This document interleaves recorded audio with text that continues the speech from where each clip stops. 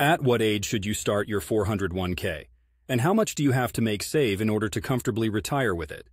You should start contributing to your 401k as early as possible, ideally right when you begin your first full-time job. The power of compound interest works best over long periods, so the earlier you start, the more you benefit from it.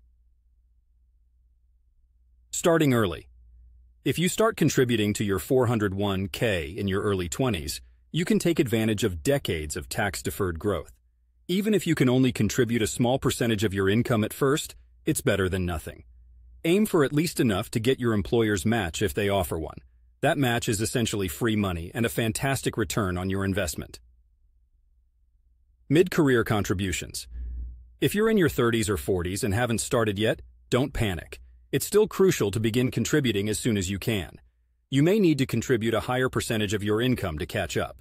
You can take advantage of catch-up contributions if you are 50 or older, which allows you to contribute more than the typical annual limit.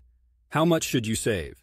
The amount you need to save varies based on several factors, your lifestyle, the cost of living in your area, your expected expenses, and your health. However, a common rule of thumb is to replace about 80% of your pre-retirement annual income.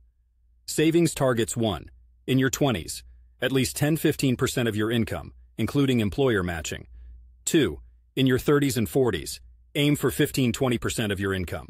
3. In your 50s, try to maximize your contributions, especially catch-up contributions.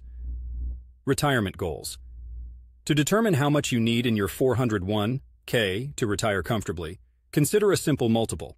Financial advisors often suggest having 1x your salary saved by age 30, 3x your salary by age 40, 6x by age 50, 8x 10x by age 60, living in Portland, Oregon. If you live in Portland or another area with a high cost of living, you might want to aim for the higher end of those multipliers. Portland isn't exactly known for being cheap, and healthcare costs in retirement can be notably high. Adjust regularly. Your financial situation and retirement goals will likely change over time. It's a good idea to review your contributions and retirement plan yearly, or when significant life events occur.